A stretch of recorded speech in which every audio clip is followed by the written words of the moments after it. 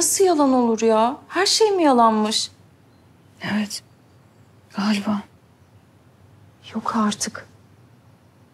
Bence Celal öyle biri değil. Mutlaka bir açıklaması vardır. Yok açıklaması falan yok Ecem. Her şeyi önceden planlamış. Kitapçıdaki karşılaşmamız bile numaraymış düşünebiliyor musun? Hayda. Of. Peki siz hiç birlikte oldunuz mu?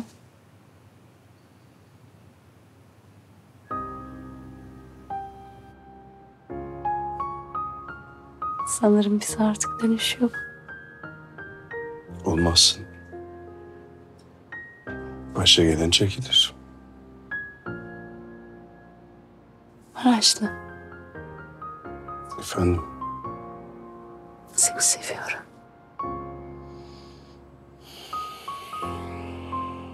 ben de seni seviyorum bayan. Ben de seni seviyorum. Ama ben çok seviyorum.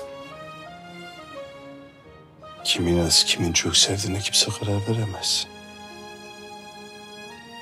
Sen de çok seviyor musun beni? Ben sevdiğimi çok severim.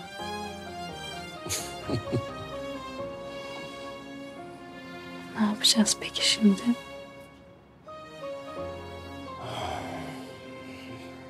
Ne yapacağız? Mutsuz olmanın bir yolunu bulacağız.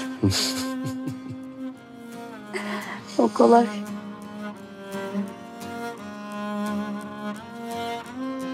ya da sonunu düşünmeyeceğiz. O güzel. Düşünmeyelim.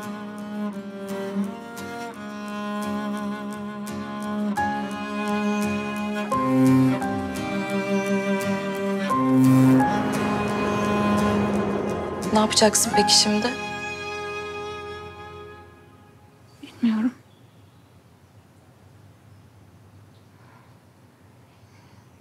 Daha önce hiç bu kadar canım acımamıştı biliyor musun? Hiçbirinden bu derece nefret etmemiştim. Ya ben bunları yaşayacak ne yapmış olabilirim ki? Aşkım saçmalama ya. Senin ne suçun var? Of gel buraya.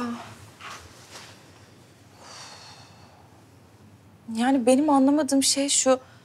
Madem böyle bir yalan söyledin, amacın ne peki? Her şey bu kadar basit olamaz. Ya da belki başta böyle bir yalan söyledi ama sonradan pişman oldu. Belki gerçekten çok sevdi seni, aşık oldu Mahur. Can burada konu sevmek değil ki.